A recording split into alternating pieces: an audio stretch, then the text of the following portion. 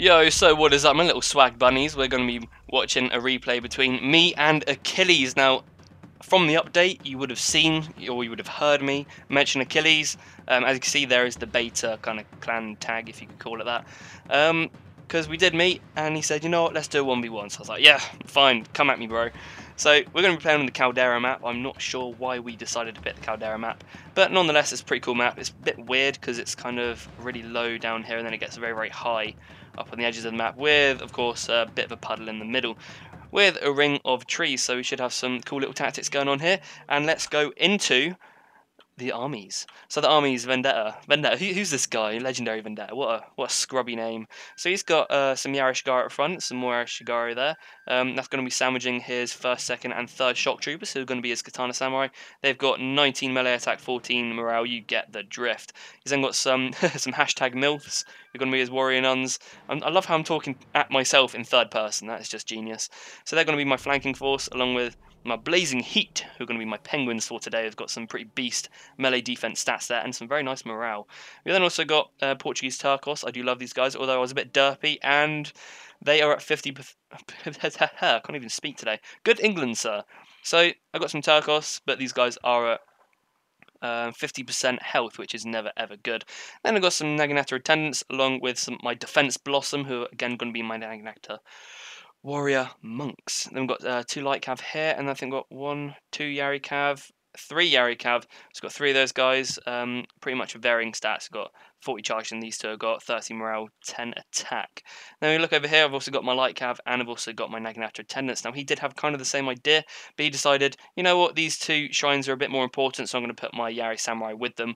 That was a very good idea, to say the least. Uh, but he's also got some light cav over here, so it's nice to know that we both have the same idea and we're both going to be fighting over the Sword Dojo now. Let's just go put it into place, see what he's bought. Looks like Achilles has got some fire cav. Look, look at that, 23 attack. Oh my god. The reason I haven't vetted up my fire cav um, quite so much is because I want to try and keep them at that um, 1000 Koku uh, kind of buffer. Um, then I've got some light cav, light cav, and some Yari cav? Yari cav in the centre there. Um, so you'll notice that we do bring a lot of light cav. Um, my tactics personally have changed quite a lot. You would have seen in the update video I bring a lot more kind of spear now because um, I used to more or less stack quite a lot of swords and, and hope for the best. Um, but it looks like he's pretty much gone for the same sort of build. If we just look at this, he's got some bulletproof Sam up front, um, some ha gay, ha gay, ha gay. he just named all his um, veterans ha gay. What a legend. So he's got some Naginata Warrior monks there on either side with some Nodachi swagness um, just in the centre there. Yep. And then he's got some Yari Samurai backing them up. So yeah, we've got the Spear Sport. I think his units are just a little bit more expensive than mine because I think I bought. Yeah, but still, it's, it's, we bought pretty similar armies. Got the same sort of idea. We both got the little detachments there with uh, with match matchlocks, though his are a lot more than mine because I was a bit derpy, and as I said, um, I decided to uh, only bring a half depleted unit. I'm not entirely sure why that was, but we shall put ourselves into normal play, and I'm kind of creeping my cab up. I don't want him to know, I want him to get a bit confident so that he charges round, and then I can kind of just charge him all outright when he least expects it. So he's going to be charging up onto this hill, which is a nice idea. I think he might have his general there. Yeah, he's got his general there. He is a melee general with a bit of uh, bow there. And I've got a leadership general, it looks like. Because um, I have been changing up a little bit. On the legendary tactics as well, on that note, I am going to try and do some more legendary tactics. And I do need to update the general um, video there as well. So I'll probably delete that and then um, put on the new one. Um, so now I'm just going to bring out all my cav, at which point he's thinking, oh dang, I'm going to get out of this area. So he's going to be fleeing like a little wimp, and he's going to be pulling up his army. But to be honest, we're pretty evenly matched in terms of cav, um, and I'm going to put mine just up in front as kind of a little bit of a buffer, so that if he decides to charge, I'm going to have a downhill charge at this. Um, and also my arm is going to be there for some spear support. So really he's got no other option but to pull back, so it's a nice idea.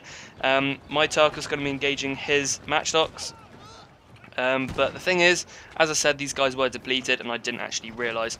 It would have been much better of me if I went for more of a his tactic and um, bring some matchlocks instead, you know, just some matchlock Ashigaru because they're far, far better.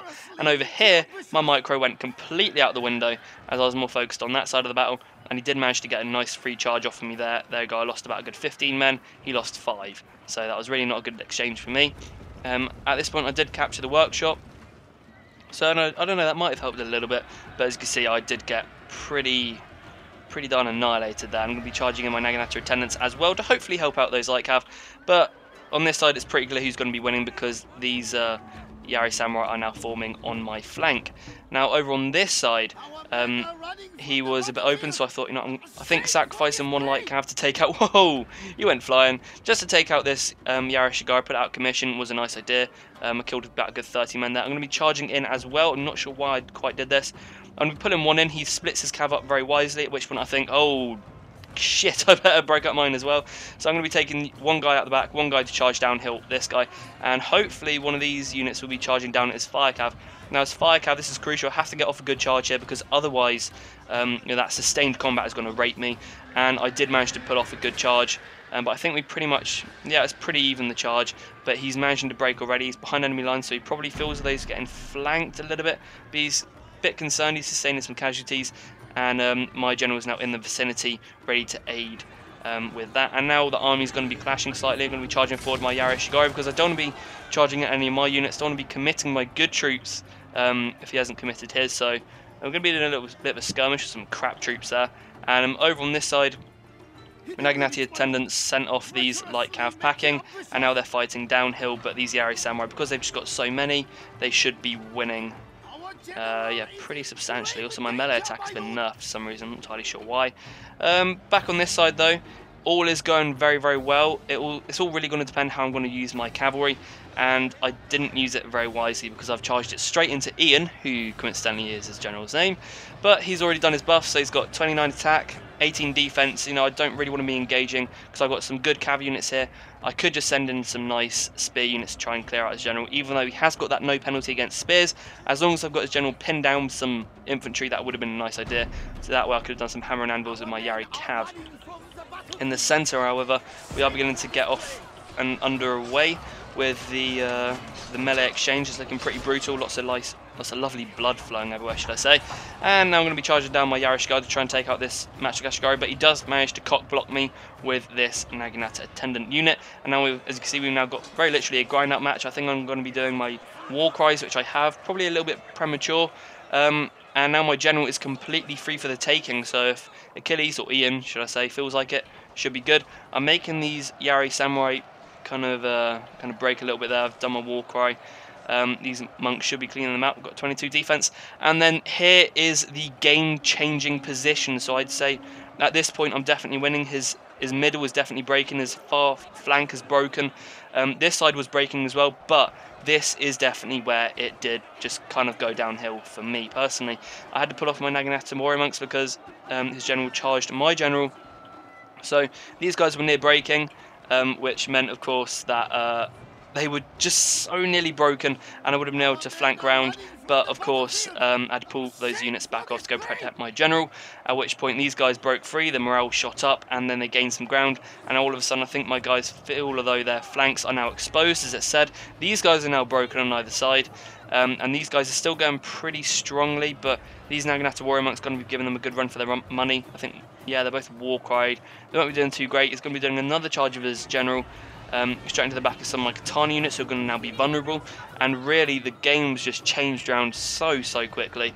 Um, so very well played to Achilles A. Managed to charge background into my general, um, put a bit, took a bit of pressure off of his line um, which you know managed to make his units come back. He's now going to be firing into his own men, routing one of them, but it doesn't matter because at this point, um, you know, it's pretty much three to one here. Um, and to be honest, it looks like it's evening up a little bit more, but one of my units do begin to rout. Um, one of them is feeling a little bit wavery, and now his general is now going to be closing in for yet another charge on my general. Um, and this is one of the problems with bringing a leadership general is that you're very, very exposed. So I really should have kept that Yari Ashigaru unit from the beginning just to protect my um, general. That really would have been far, far more helpful. This unit's just cleaned up, and now he's going to be charging back off. Um, but to be honest, I think he's going to be breaking. Yeah, he's shattered at this point, and my general is now gone. So I hope you enjoyed this battle. It was a good, tough one. It's interesting. It wasn't um, one of the kind of, oh my god, who's going to be winning? But it was definitely a pretty close match, and I managed to pull off a costly enemy victory for him. But yeah, I hope you enjoyed it. It's a good battle. I'll put a link down below for his channel. So let's go to the results screen. And here we are at the results screen. So you can see he actually brang six more men than me. Oh god, broken. He he was to win from the he's to win from the beginning, guys. Um, so the losses there, I did lose 200 more men than him. Um, and I, I, did manage to kill a 1,000 men, so I suppose that's not too bad. let's go look at the unit stats. So the unit stats, um, Katanas did pretty decent, Blazing Heat did very well, um, but really it kind of went down in the centre. I think if I brang some Nodachi, um, my army definitely would have fared a lot better, simply because I think I did manage to get the charge off, however, um, you know, the Banzai ability is, you know, you can't underestimate the Banzai ability because it can really stick your guys in there for a lot, lot longer. Um, so probably even Nodachi would have been a better choice. Um, Turkos, again, that was a waste of money because um, I didn't really get the full effectiveness and they were only at 50% health. Um, my light cav were kind of wasted as well. well I say kind of, pretty substantially. Um, you know, one of them to get charged, so my Cav Micro did go out the window a little bit. Um, and, I mean, look at that. Ashigaru. Oh, God. If Matchlock Ashigaru on the enemy team is in the top bloody four, bloody, such a British word, um, if it's in the top four of their kind of army kill list, that's pretty embarrassing. I'm just going to be honest. So they both got over 100 kills, so very well done to them. Naginata Warrior Monks holding out very, very firmly um, against my Katana Samurai and um, there's Nodachis. Didn't do the best, but they did manage to hold out, which is a good news. Um, so I hope you did enjoy the battle, as I said, um, and I might be doing some live commentaries. I'm going to be cracking on with the cinematics. Um, I'll put a few few links down below, and um, yeah, hope you enjoyed, and uh, bye for now.